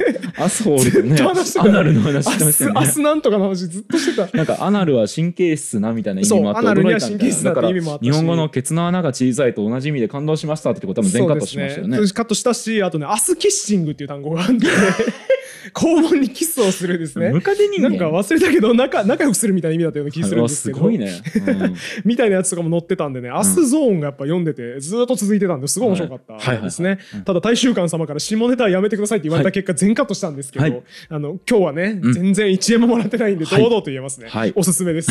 ジーニアス、ジーニアス英和辞典第6版、アスゾーンを皆さんぜひ一緒に通読しましょう。今回の一応主要参考文献ですね、はいはい。この今までのこの小林マスカー理論とはいはい。腐女子の二次創作の類似性に関してはですね、うん。かなり硬い本にこの話が出てきました、えーこんなにキャッチーな話なの？に、はい。これ、えっと、参考文献プロジェクションサイエンス心と身体を世界につなぐ第三世代の認知科学っああなんか難しそう。ていうめっちゃ難しそうなタイトル3520円のへえ割と高いですね。そうでちゃんとあの研究者の先生が編集をして研究者の先生のみが寄稿しているっていうああすごい。タイプの本ですよね。ちゃんとしたやつですね。で論文形式でこう集みたいなね8の1初めにみたいなうん8の2は何々みたいな手筆書きがちなやつですね。そう知らんけど多分そうなんでしょうね。そこに書いのに寄稿してる、えっと、久保かっこ河合奈美子先生はい。の、えっと文章。うん。ここから、えっと持ってきました。へえ。なのであじゃあ水野さんはそんな硬い本の中からめっちゃ面白いのあるやんっていう。そう。めっちゃキャッチーなやつあるやんって言ってすくい上げてきたんですねそうなんかねあのそんなに期待せずにうん。読んだんですけど、そう読み始めたら、うん。そのその先生のとこだけうん。めちゃくちゃ面白くて、あてか他のとこも結構面白かったんですけど、はいはい。その最後にね最後にその久保先生うん来たんで、読んだらおおちょちょちょすごいすごいすごいすごいってなって。へそれで、えっと結局そこをめちゃくちゃページを追って他にも、そのモノマネと今までの話っていうのを関連づけて論じたりしていてえ面白そう。すごくねすごくね着眼点が面白い先生。あと最近、えっと集英写真書から推しの科学、うん。プロジェクションサイエンス何々何々みたいな、うん。えっと先生の単調も出ている。へで同じその、のプロジェクションサイエンステーマなんで僕ちょっと推しの科学はまだ読んでないんですけど、うん。それも面白いんじゃないかこの先生ならきっとっていう気はするんですちなみにプロジェクションサイエンスって何ですか？あ聞いちゃう？これ聞いちゃう？えー聞いちゃうよ。いや難しいなんです。なん。かね定義がねなんかいまいちピンとこなかったんですけあどジェクションって投射はいはい。だからある対象があるときに、うんえーそれとず違うものを当てはめるうん。ことをプロジェクション投射というここでは、うんえー例えばですけど堀本さんうんが誰かのモノマネをするはいはいって時は堀本さんはその誰かを投射してなるほど。堀本さんがモノマネをしてプロジェクションしてるみたっていなね。言うし、はいじゃあそのモノマネ文脈で言うと,、えー、とハリウッドザコシショウさうんん。は、あ違う違うごめんえっ、とね秋山隆二さんうん。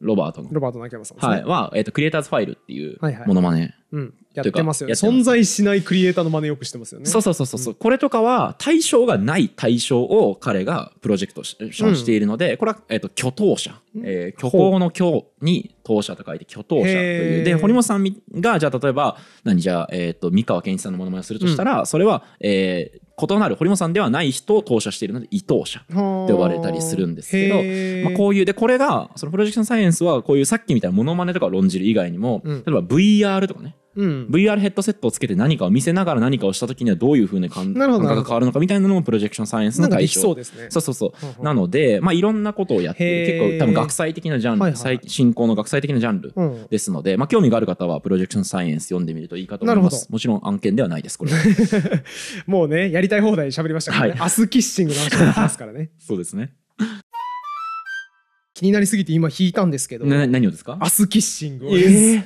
わざわジーニアざスジーニアス英和辞典わ第6ざわざ？版でね。こんなかっこいい想定なのね、に、想定もかっこよくてね、うん。新語インスタグラマブルインスタ映えするとかも充実のこの辞書はですね、うん。明日周りの言葉も充実してましてアスキッシングとかね載ってまして今ここだけは。バレないようにしましょう。大丈夫大丈夫、はい。バレないから多分、はい多分バレないからアスキッシングはおべんちゃらごますりはあ。ですね。だから靴舐めるみたいな感覚ですね。みたいな感じですね。はいはい、ごまするアナルにキスするでごまをする。ごまをするですね、はい。はい。おべんちゃらを言うみたいなことなんで。まあだから今回はすごくアスキッシングではなく非常に良い雑談会になったんじゃないでしょうか。交互関係とかなしで。なしでね。純粋にね。本当に喋りたいこと喋ってすごい面白かったやっぱたまにこういうのやったのがやった方がいいのかもしれないですね。ね。なんか今までもそうやってそのノンテーマで雑談会みたいなのやって、そうですね。意外とね盛り上がったりしてたわけでそうだね。ちょっとねそのリスナーさんの反応とかっていうのはちょっと見てみないことにはわからないですけどてか我々がなんか一番楽しいのこれだよねなんやかんや。それはねそう。それうん台本書くのとか大変だもん。もう。俺今めっちゃ楽しかったもん。この1時間半めっちゃ楽しかった。マジで、うん。嬉しい。めっちゃ楽しかったんで。嬉しいな。無限にできる妙利に尽きるなそう言われると、ねえ。だってうん。これ初めてよさすがに。ワンテーマで1時間半喋り確かに。ねえ。話題変えてないね。そう。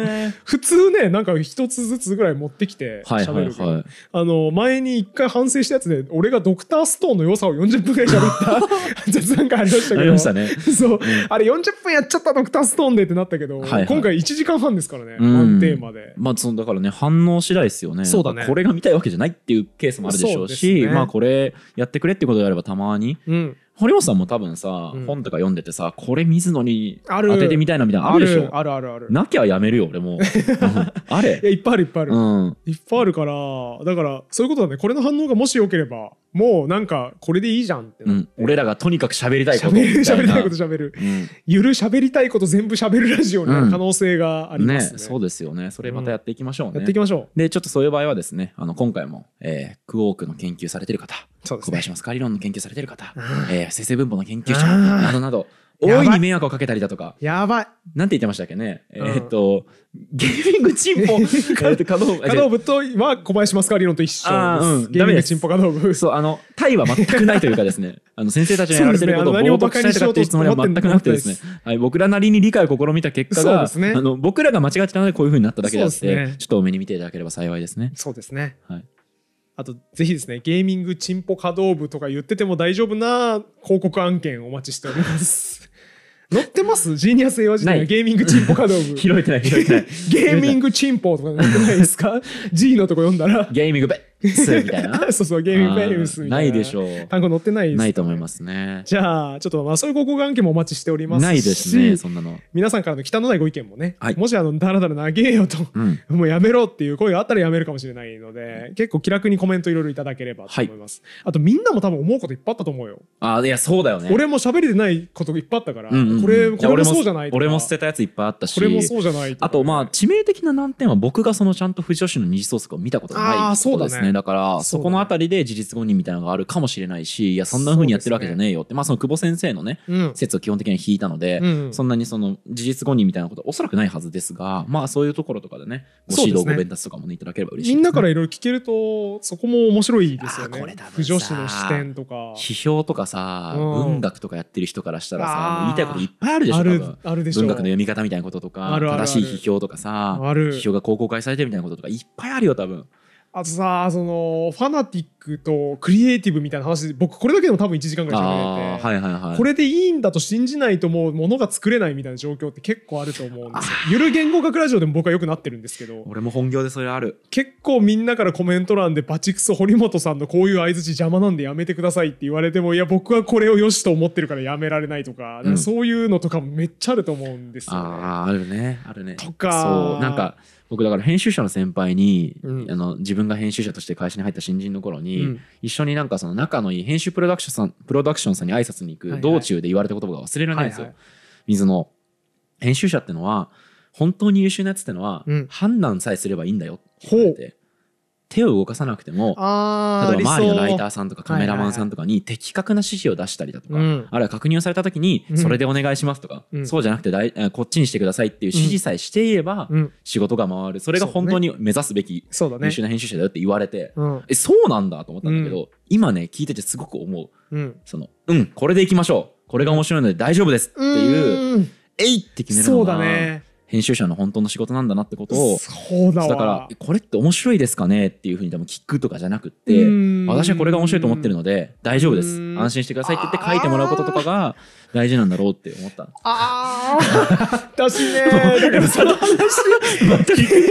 経営者なんですよやっぱり結局。あ経営者の仕事なんですよそれって。止まらんやんそのもう。もう収録順とか知ったことじゃないんで喋るんですけど、うだからこのゆる言語学ラジオとか運営会社であるこの間作った法人の経営方針も結局本当にこれで合ってるのかなって思いながらもうえいって決めるしかなくて、うん。その合ってるに違いないとこれで合ってるんだって決めることが最もやっぱカロリーが高くて経営者の仕事なんで経営者の仕事は共振であるっていう結論も導き出せるあーですよね。いやそうだからさ後世の人がさ、うん。えななんでこいつこの事業いけると思って突き進んだの、ね。って思うこととかって僕結構あったんですよ、はいはいはい。でも堀本さんと一緒にこうあれこれこの1年間やってみてすごく思ったのがそれで、うん。そんなこと分かってるわいっていう、うん。多分経営者からしたら、そうだね。それうまくいかないっていうのってみんなから言われたわいいと、うん。でも俺はこれがいけるっていう判断を外の人に示す必要があったからそうそうそうそうそう。そう俺はこれ確信してるから大丈夫ですっていうストーリーを信じさせる必要があったから合弁してるんだ。そうだね。とをこの1年でねすごく気づかされました。ね。そういうケースの方が多いと思いますよ。だよね多分ね。し経営者の孤独ってそういうことでしょう。失敗リスクは当然あるんだけどそんなものはないと。これうん。絶対にいけるって、すごく強く解き伏せなきゃいけないシーンってめちゃめちゃありますから、ななんかだから経営者の仕事もやっぱり一番は狂信的であること。アブダクションとそれを信じさせるそ,、ねして自分もそれをまた強く信じることうん、なんでしょうね。すごいね今日はいい回だし、えーまとめようと思ってるのに全然まとまらないねまとめ喋りたいこと30分前ぐらいにやりましたよ無ね。確か限に30分前ぐらいにまとめたの僕に 結構丁寧にまとめましたよ交通整理して。また思いつくことがいっぱいあるから。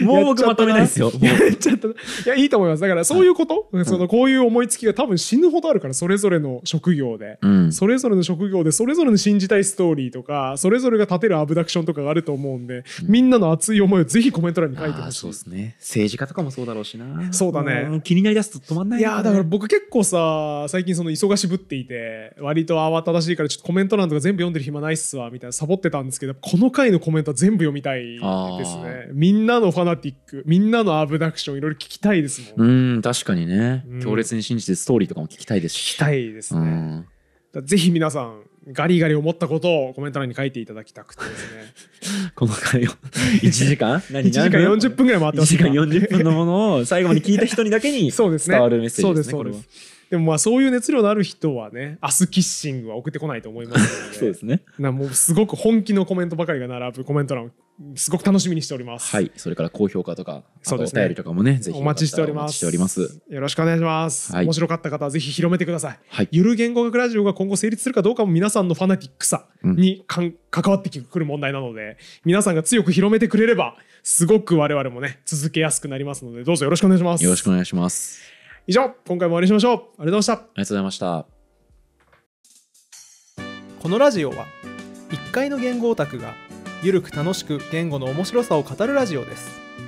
自由気ままな言語トークですので厳密な交渉は行っておりません。